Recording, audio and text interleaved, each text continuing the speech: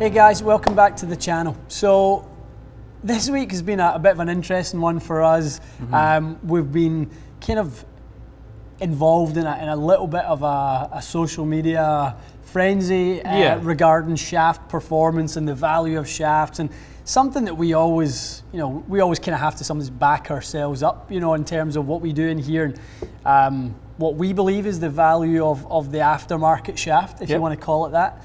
Um, so a name that a lot of you guys will be familiar with, Mark Crossfield, um, on his channel posted a video earlier in the week, and, and, Mark's always been a little bit skeptical of, yes, you know, the, the kind of value of, of changing shafts and the aftermarket shafts and all that sort of mm-hmm. thing. It's fair to say fair that. Fair to say, yeah, yeah, definitely. So he done a video and put it out with one of his guys, and um, you know they, they delivered some numbers on GC yep, Quad that, that showed very minimal change in actual, you know, launch and spin and all that sort they of thing. A really stiff shaft versus like a lady shaft yeah, kind they, of thing. They had a Project X HZRDUS Yellow versus a, a Callaway stock uh, lady, lady shaft, shaft, you know, shorter length, and right. you know they they kind of showed that the results weren't. You know, one goes way high, no. one goes way low, and the ball flight numbers were quite quite similar. Yeah, they, they, were quite they were quite similar. So yeah. we kind of wanted to touch on that one, and you know, as, as we said, we fully believe uh, in the value of, of the shaft to the player and the ability to personalise. So we kind of dug a little bit deeper into that. Yeah, absolutely. So I think the first thing that was interesting just about that whole process that they went through, mm-hmm. we did a couple tests that actually kind of support the type of data that he got. Yeah. In fact, to the point where when I watched it and you watched it, it wasn't a surprise. No. And I don't think I took it as like, oh, Mark is totally discounting shafts and mm-hmm. blah blah blah. He wasn't really because that's the type of test that we've done. We've done two extremes of shafts, yep. maybe not ladies, mm-hmm. and, but we've gone pretty extreme, yep. and we've seen that the actual club head was the main determinant of, of the ball flight numbers. And when of we say that, conditions. launch conditions mm-hmm. is the way. So, yeah. so launch angle, spin rate right. is what you're talking yeah, about. Exactly. And uh, to be fair, in his video, he didn't really talk a whole lot mm-hmm. about you know the dynamics of the swing and stuff. He was just saying, you know, you're not going to go and change your shaft and completely change your launch conditions, which is fair. Yeah. I think it's fair. I think that's it's fully fair. We, you know, when we're seeing the the initial launch characteristics of certain players I don't go, okay, it needs to be that shaft because right. that will kill the spin or, yes. you know, this, that, and that. I'm going towards heads that have the right characteristics mm-hmm. that will change that based on CG location, mm-hmm. based on, you know, head dimension, all that sort of stuff. You know, I'm not really one that says, you know, the shaft deflects less, therefore it will spin less. Yeah. You know, that That's one of the thing. first things I think that I learned from you was just the first time you helped me with my driver. Mm-hmm. We talked about different shafts, but right. I don't actually remember you saying, this shaft will spin less or launch yeah. lower. You didn't actually say that. No. You just said your your shaft being a softer profile yep. might get a little behind you with deflection and such. We were talking swing characteristics, really. Definitely, and I think that's the big thing when we start to get into, um, you know, the role of the shaft here.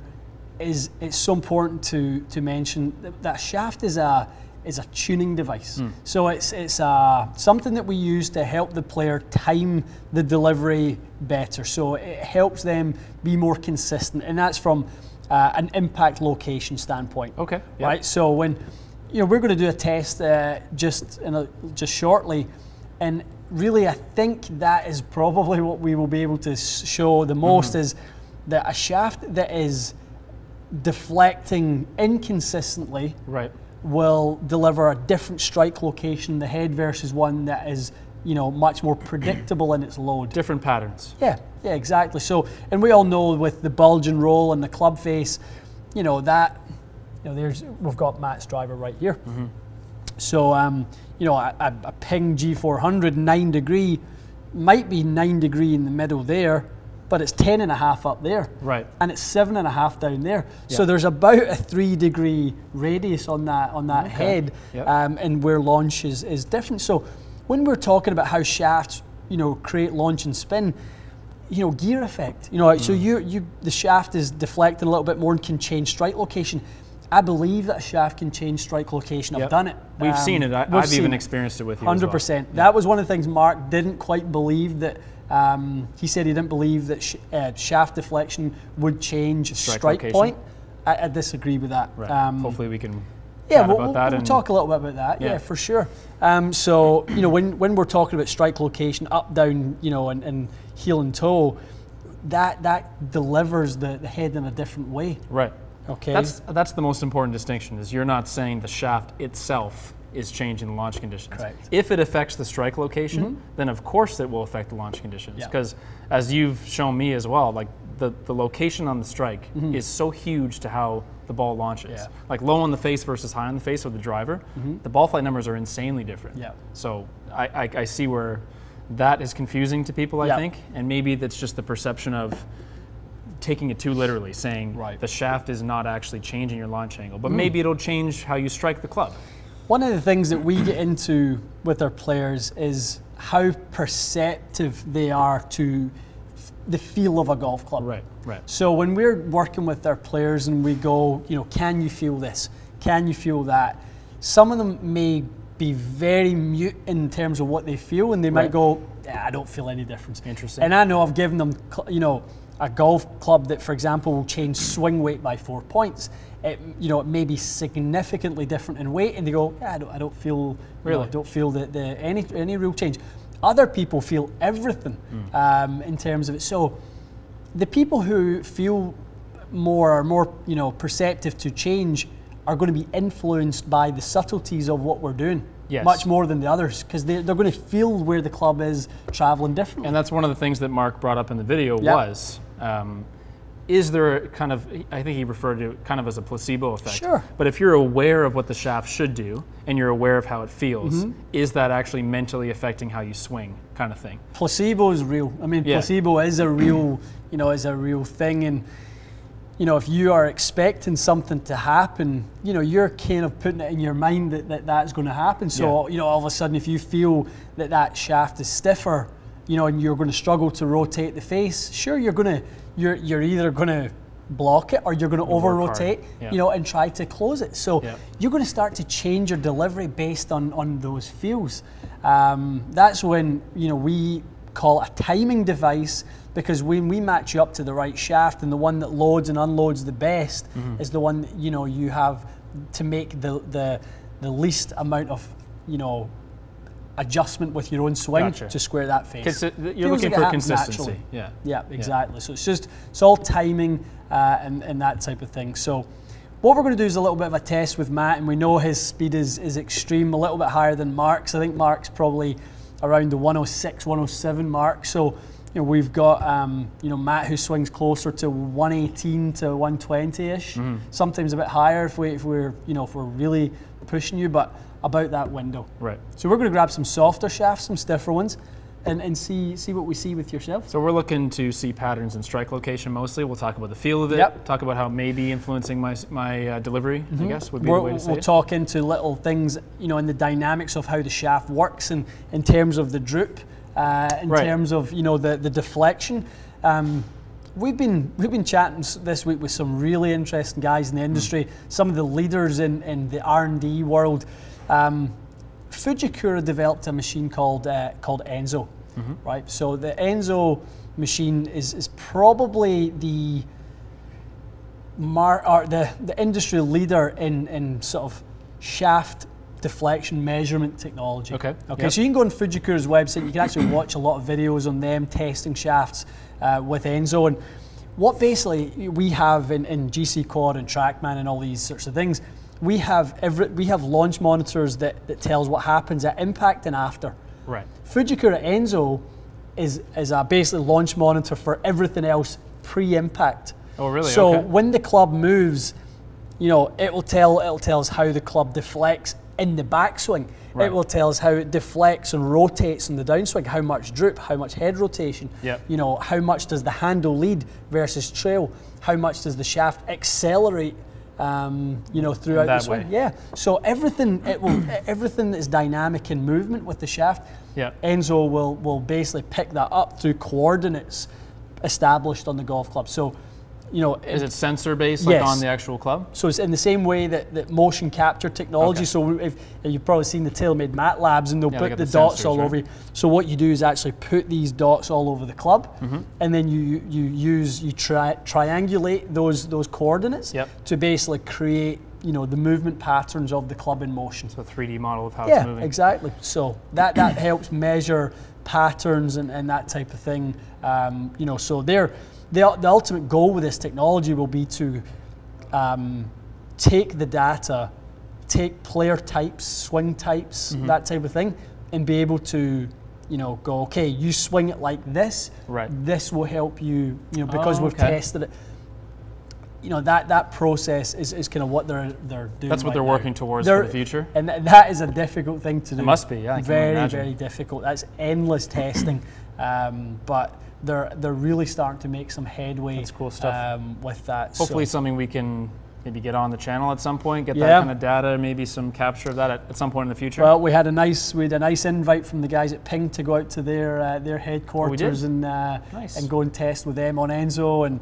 Uh, and, and kind of give you guys a little bit more information. So Right. yeah, we really we'd appreciate that. That would be that would be fantastic. That'd be amazing. And just so everyone's clear, when you say deflection, what does that word mean, just generally. Sure. speaking? So, so when, when a shaft deflects, let me grab something Yeah. soft here.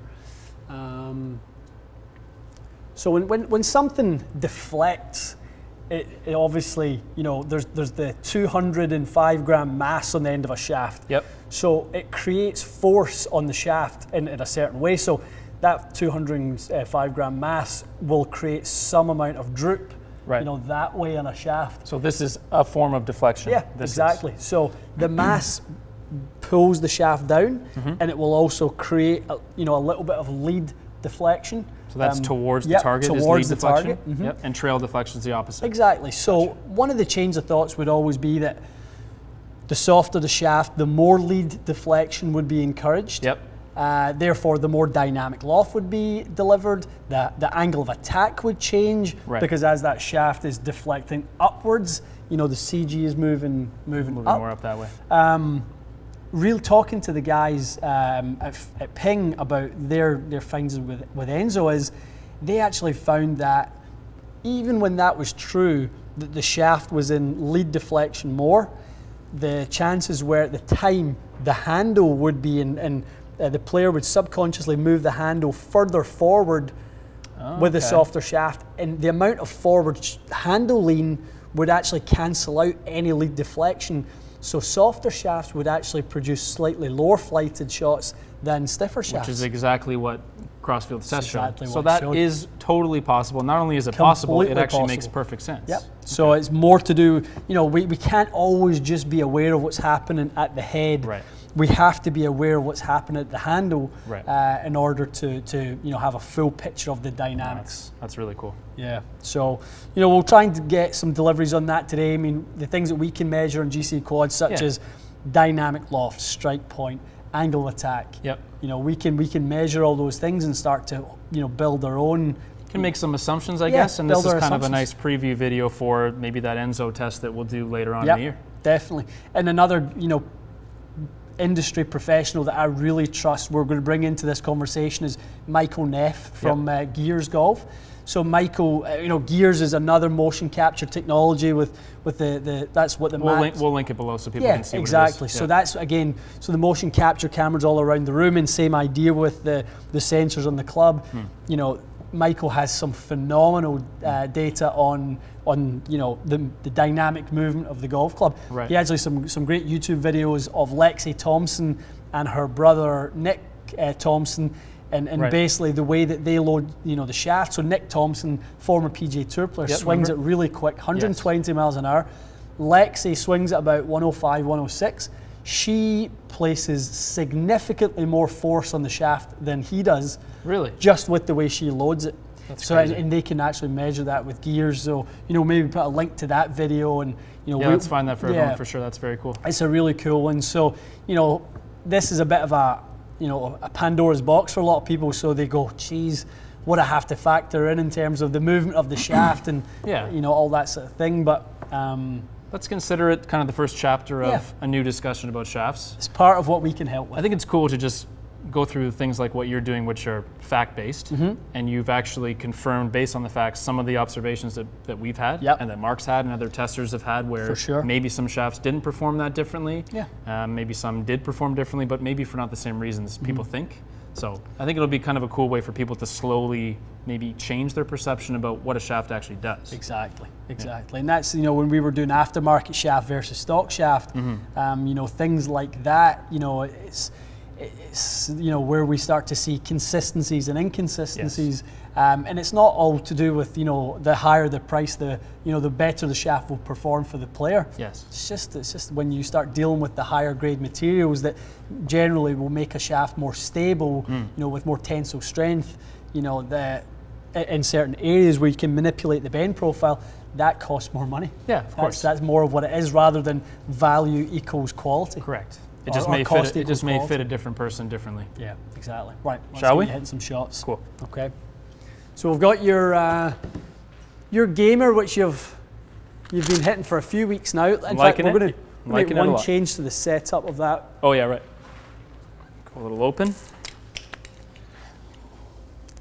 This is a big test for Matt right here. He's been working hard in his swing, I have been working hard on my swing. Yes. making a few changes. I have been making some changes. I haven't played a ton of actual golf, to be fair. Only played about, uh, I played one 18 hole round and one nine hole round since I've been working on this. So Right. lots of range time, but probably not as much uh, under pressure time. So this will be a nice little. wonder if we should do a we should do a giveaway for anyone who can detect the changes you've made to your swing.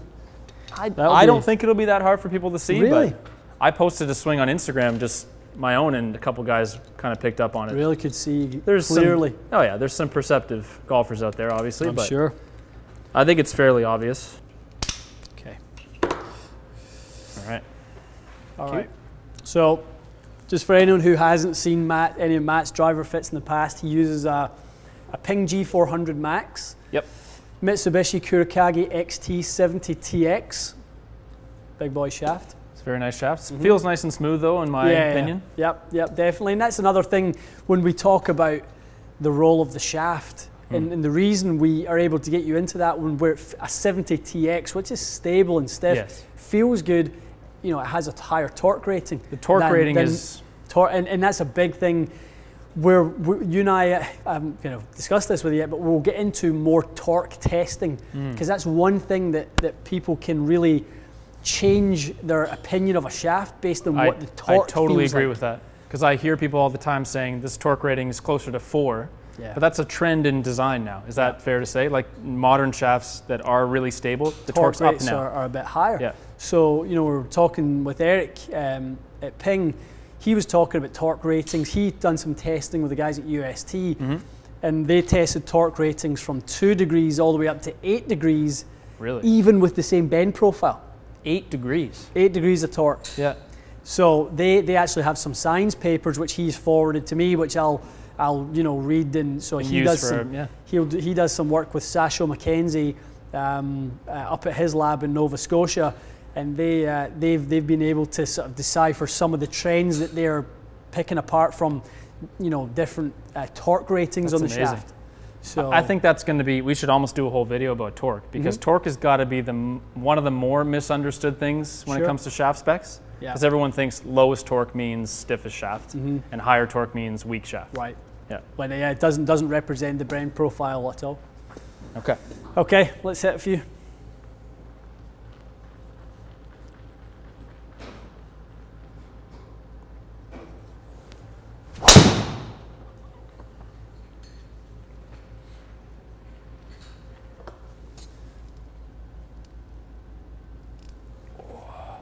It's big, big, big pressure in the new swing here. That's a good hit. So my ball will tend to draw now, which is I'm happy with. I'm, I'm not missing. Yeah, I mean that's Not the, missing that- it left. That's the one get- thing with your, your old swing. You were trying to eliminate that high left one, Yeah. weren't you? So I, fade. um, the last round of golf I played, I, I actually didn't hit any shots left, which was amazing. Mm-hmm. Um, the only thing I have to get used to is just trusting a little bit more, you know, left side alignment, Right. and I have to trust not trying to smother it to save the shot. So Yeah. We'll probably see more draws than usual, but Working in the push draw. working on the push draw.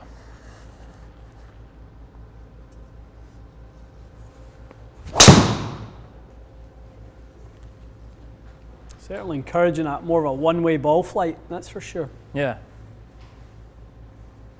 Yeah, it's taking some getting used to, but those feel very solid and uh, well struck. I think pretty centered. Well, I mean, Two very consistent strikes right on top of each other there. Slightly toe side, which will be encouraging a little bit more draw. Right.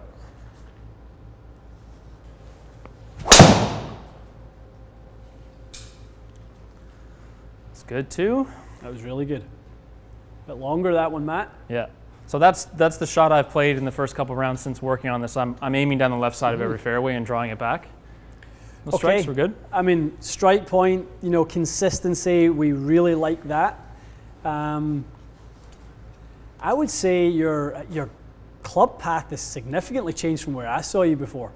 Seems more neutral. Way more neutral. Yeah, it's, Yeah, it's you're funny, not yeah. nearly as much uh, from from the inside, which is probably why you no longer feel like you're stuck and you kind of hit that high fan to the left. Yeah, I, I've really recently just lost that fear of hitting it left. Mm-hmm. Good. It's funny that it that it's I haven't hit. Well, that's not true. I hit a couple balls on GC quad, but I wasn't watching the club path. That little cluster right there. I mean, they're shaping a bit, um, but you know they're all finishing in the same area, which is. Yeah. You know, when I'm doing a driver fit with people, one of the first things I say is let's eliminate one half of the golf course. Unless you're really skilled and you want to be able to work it and shape it and that sort of thing, which I don't really think is all that necessary with a driver. If No, you can, uh, if you can shape it one way and you're going to hit that little consistent flight, that's Yeah. perfect. Well, then it just becomes an alignment thing, right? You just choose a different target line. Definitely. Which Play into the full fairway rather than aiming down the middle and hoping you, you don't miss it too badly into either half. Which, which we've talked about, and I think just from my own perception, confidence-wise, mm-hmm. aiming at, let- let's say you aim in the left edge of the rough, Yeah. you're okay with hitting it there, and if it draws back, great. If it overdraws a bit, you're on the right side of the fairway. I think there's a lot, there's a lot to that mentality that people could pick up on.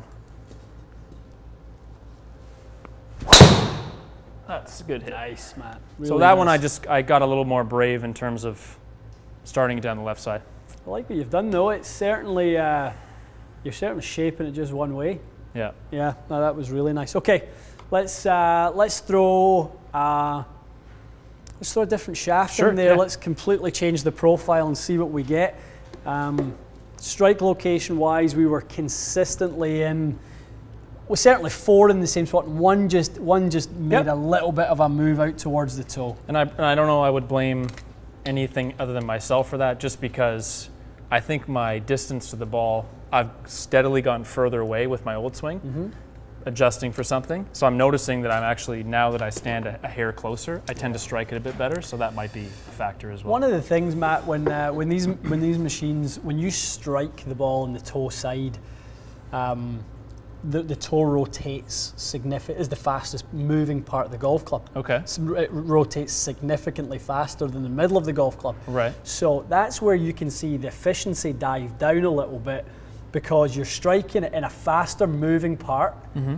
but producing less energy because it's out in the toe side. Okay. So that's where efficiency can drop down a little bit. Right. That's why sometimes you can get some heel strikes where if, as long as you hit it close enough to the middle, you can actually get a really high sort of efficiency from that one because it's a slower moving part of the head as long as you still produce enough That's very energy. interesting. It's, Yeah, So you're saying it's reading the club head speed high because of the toe exactly. movement. It's, it's relative. That's cool. Yeah. That's very cool.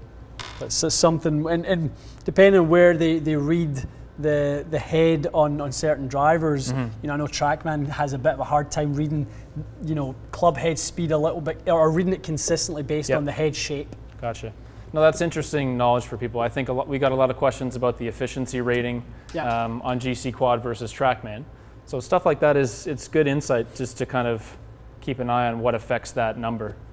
Would you say people get a bit too hung up on smash factor and um, efficiency ratings, or is it actually Yeah, a good yeah, indicator? Yeah, I, I would say they get too hung up. Too on hung it. up on it, yeah. Yeah, I don't I don't lose too much sleep over that. Hmm. All right, Matt. So we've uh, switched shafts out. We'll put you into something that's kind of a different bend profile from what you use. Um, we've we've got you in the Fubuki J, much more tip active. You know, a J spec shaft is always more tip active. Okay. Um, slightly higher balance point in the shaft. So um, one of the things Mitsubishi done with this one, they infused tungsten powder in, into the the pre-preg at, at the butt section. So there's more weight up here, you're saying? Much more weight higher in that club head. So again, trying to influence certain things in the shaft, balance point, Yep. bend profile, and see what you know consistencies or inconsistencies that they breed. Gotcha. So this is a 50 gram shaft. Yep. Regular flex, tip soft, and the high balance point. Yeah. So straight away, giving that a couple of waggles and practice swings. You, f- What- you feel you feel it moving around a bit more, Sure. for sure. Um, is that I mean is that expected? I think so. You should Yeah. Physically because it's an interesting question, right? Like it, the shaft is not designed to bend much unless you're swinging at a certain yeah. speed, but you can still physically Well, feel it's it. funny, you know, we, we always giggle about, Yeah. you know, you, people going into a store and giving it Ah, a which waggle is- and going, oh, is- it's, it's a bit too soft. I could never hit that one. which is nonsense, obviously. nonsense, But you can you can feel the difference. But whether or not it's a negative is uh, pretty subjective, I would say. right.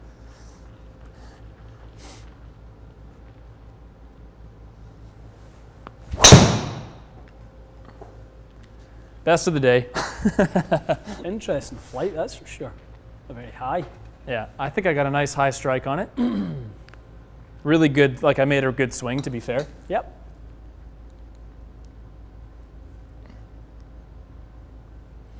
Another one of those, Matt, where we, we just kind of talked a little bit about where it reads the, the club head speed significantly higher based on strike location. That is really interesting. Mm-hmm.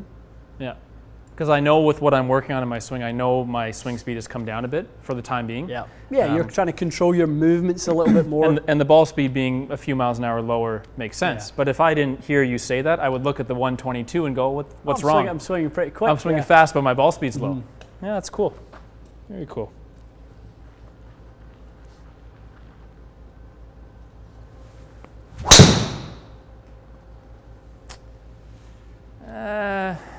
Now, I would blame myself. you're you're going. I I knew you'd take ownership of that one. No, I think it and, was and me. rightly so.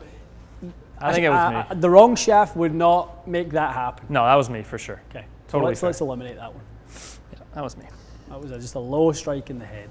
Just a loss of balance, bad swing.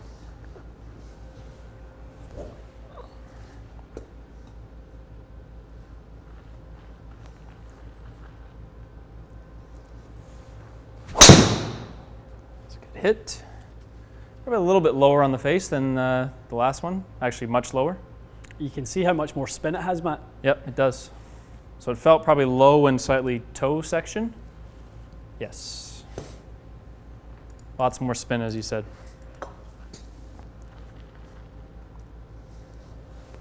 I'll tell you what, that felt good too. Again, that's the shot I'm trying to play, so I, Yep, I don't no. I don't consider that a hook. I just need to aim further left. Right. Better hit.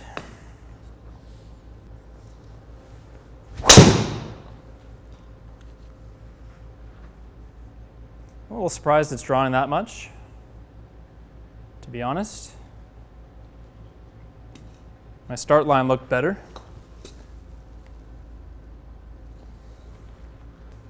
Quite significantly higher ball flight, Matt.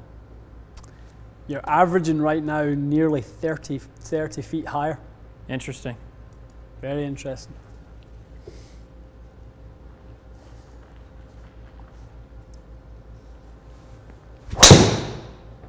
That was a good one too. Yeah. A little lower strike. Lower strike, more spin, more gearing Yep.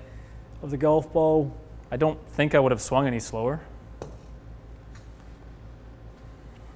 It's, it's really uh, very, very interesting to me that your strike point changed. Let's let's kind of look at the comparison of the strike point. So your average was more toy and lower. So lower on the face with this one a bit. Yep. Your average uh, dynamic loft, not all that different. You had one high one. I would say it was a little bit less. You know, if we, we eliminate a bit of an outlier there, the 19.5 on that one. Yes. Um, you know, 14.7 versus 16. In terms of the dynamic lie angle, it was definitely delivering the, the club more toe down. Right. So that's exactly what you expected. It's we would doing expect this. more of that def- doing this. downward deflection. Yeah. Okay. Now that's a good question. If it's if it's deflecting downwards, Mm-hmm. it's flattening the lie. Yep. Is that going to make the ball start more left for Correct. me? Or for a right-handed golfer, it's going to start more right. Yep. So a softer shaft could actually make you hit the ball more of a push. Mm-hmm. That's cool. Change the dynamic lie angle. That's not something most people would think of. I don't think. no, no, and and It's counterintuitive to some degree. yeah, and, and I probably would be reluctant in a fit to go completely in an opposite direction in terms of the deflection just to change dynamic lie angle. Because it's a driver, it's not as much of a factor. No, it still still plays a still plays a role. It does, okay. Yep, definitely. And it's so- something that, that is, you know, we talk about. We complain almost at how how upright the modern driver has become Okay. because you know you know certain players, you know, when they deliver the handle very low, get that driver sitting so toe up. When we see at times, you know, the lie angle being eight to ten degrees toe up. Toe up. Yeah, if you get that uh, that vertical swing plane number lower, Okay. which is indicative of, of a really good player's swing. So, Right. um, in terms of the speed, um, you seemed to create more more speed. Now we've got again another outlier in there, so let's let's not jump to too big a conclusion. 119, 119, 120, 120. Yep. You were a little bit quicker with the ping. Uh, sorry, with the Fubuki. Was that because the strike was more in the toe, like we talked about? Yeah, maybe. Maybe. Because that, that's the club speed number. What Yeah. about the ball speed number? Ball speed number was 168.2 versus 169. So likely not a big difference. No. So in terms of the net distance change, decent size difference. And, and would it be safe to say that was it was just striking? I was striking this shaft, or sorry, this head with this This shaft head, lower, Lower and, and I was on striking the other one higher, so I got less spin and more distance. That's really all it is. Yep, that was it, was it was mostly strike point. Yeah. Um, like we said, you know, the height was the big difference. So not a big difference in the two carry numbers, but a big di- bigger difference obviously on the on the total number based on the angle of descent Yep. into the fairway. Gotcha. So um, you know, lower spin rate with with one, higher spin rate with the other, based on strike point being Just higher. lower. Can we go to the compare page just to give Sure. uh, the big graphic for everyone to see? Yeah, that, that's that's kind of the clearest picture to me. It's the, the if we go to the strike point or the club data page shows the strike, it's just a bit lower strike on Yeah. average. It Yeah. kicked up a little extra spin, pretty much. Would you say the bigger the bigger story is the lower strike in terms of how it actually affected the performance? No, no doubt, Right. absolutely no question. That lower strike was was playing a big, big role. So to me, that illustration is about as good as you can do with a human being because so. you took two different shafts. I, I, we know the shaft didn't change the ball flight, but it did change the strike, Mm-hmm. and the strike changed the launch conditions. And and you know, what did you feel throughout the what throughout both kind of Uh, swing both clubs? I mean, did you hate one and love I the other? hate. I didn't hate this one. It obviously feels very soft. Yep. So I felt it bending more in the downswing, Sure. or I guess deflecting, as you say. yeah. Um, maybe it, it deflected a bit more behind me, but Mm-hmm. in, a, in a funny way. Um, the really good one I hit with this, I felt like it got nicely behind me and allowed me to kind of hit that push draw. Does that make sense? Yeah. Like yeah, yeah. it deflects a bit more to let someone kind of get it a bit more in- inside. Change the start line a little bit. Yeah.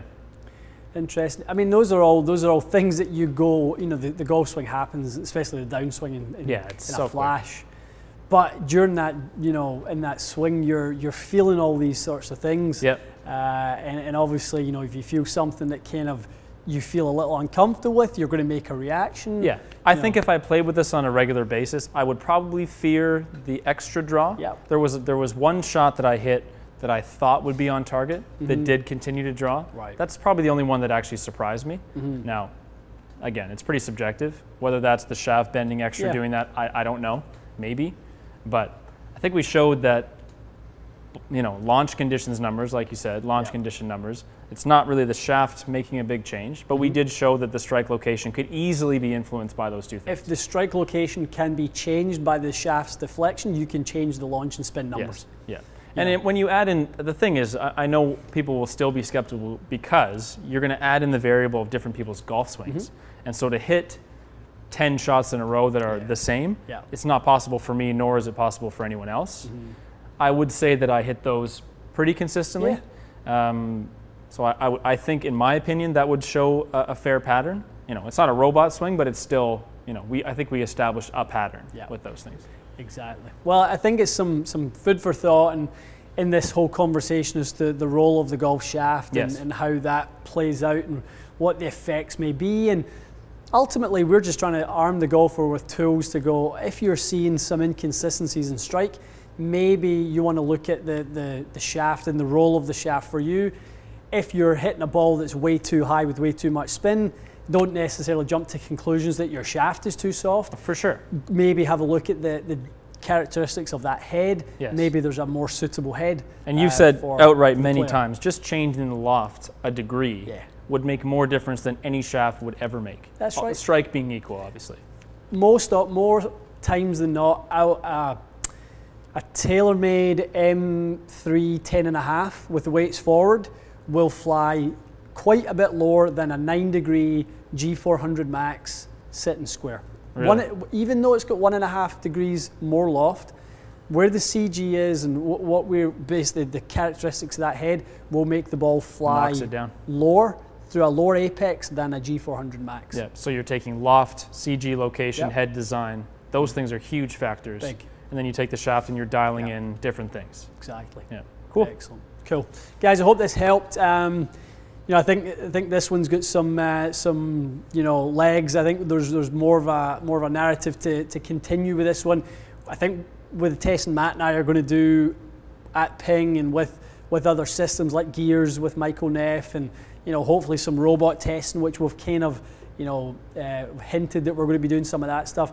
We can take this conversation a little further and can it continue to educate ourselves, not just you guys. Continue to educate us in terms of the role of, of the head and the shaft and how they work together with different types of swings. So we hope you enjoyed the video, and we'll see you again soon.